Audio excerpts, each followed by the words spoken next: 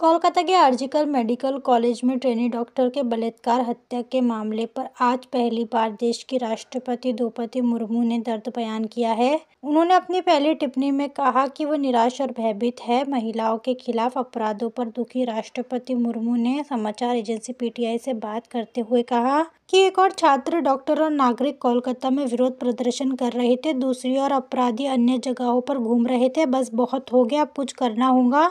राष्ट्रपति द्रौपदी मुर्मू ने कहा कि कोई भी सभ्य समाज बेटियों और बहनों पर इस तरह के अत्याचार की अनुमति नहीं दे सकता। समाज को ईमानदार, निष्पक्ष, आत्मनिरीक्षण की ज़रूरत है। खुद से कुछ कठिन सवाल पूछने चाहिए।